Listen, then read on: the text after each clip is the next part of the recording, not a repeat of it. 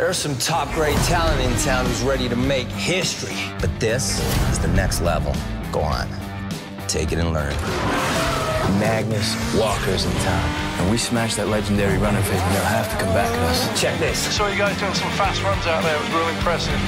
You know about Ken Block, right? I've known it for days, so we gonna recreate Ken's run, move for move. Travis mentioned you worked a couple cars yourself. That's cool. Use whatever tool you want. I want it ready for Nakai-san to see before he leaves the city. I'm talking stupid power.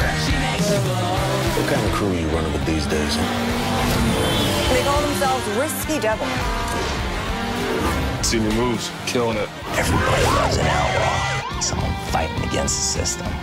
So you gotta ask yourself, are you the kind of driver who's in it for the rush? Hmm.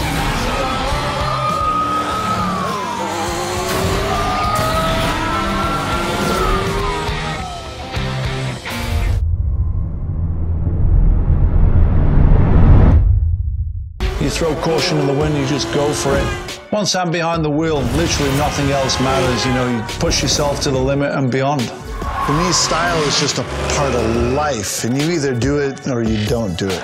But there's nothing else like that feeling of being able to control a car. Can't really get much better than this. 自分のために作ってるんで車乗れない頃からもホビーとか模型とかで作ってたからね車だけによらず洋服にあったり映画にあったり音楽にあったり全ての部分からイマジネーションが湧くんで These spots would be empty for all night, so we'd literally just hang out there.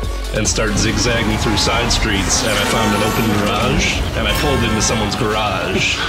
it was, it was, I couldn't believe I got away with it. 自分は車を走らせる時にその車がどう走ったら一番かっこいいかっていうのをとにかく諦めないでずっと続けることですか Some amazing things I can't feel anywhere else in my life. We've all got a need for speed.